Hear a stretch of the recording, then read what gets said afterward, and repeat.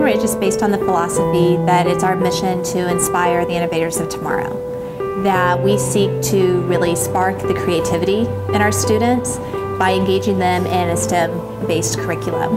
A STEM based curriculum integrates science, technology, engineering, and math. STEM is really a form of systems thinking and it's getting our kids to really be able to look critically at problems and solve problems. STEM at Canyon Ridge isn't just for a few kids, STEM is for everyone. In kindergarten, maybe just exploring with balls and ramps or figuring out how the human body works at a basic level. By sixth grade, they're developing an invention convention. They're thinking of solutions to real life problems.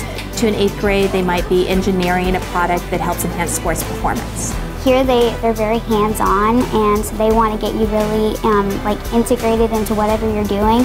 STEM every day can be as simple as, you know, a one or two hour lesson where kids are putting something together and marketing it, uh, to a prolonged project over time where the team is planning, they use their PLC time to really say what standards do we have coming up that we need to teach? How are we going to assess that and what, what are we going to use to get there? First, they have to ask questions. What problems do we have in the world that we would like to address? Imagine some creative ways to do it. And then they um, start to plan, then they eventually they create, and then that constant redesign to improve it. What I love about STEM is that because you're working collaboratively together and following the design process, you can always improve, you can always refine, and kids experience success at different speeds and at different levels, but they all ultimately, the, at the end, say, okay, I understand how I could make this better.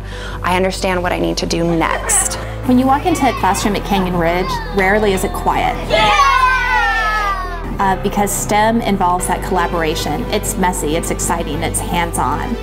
I like my kids to be excited about school.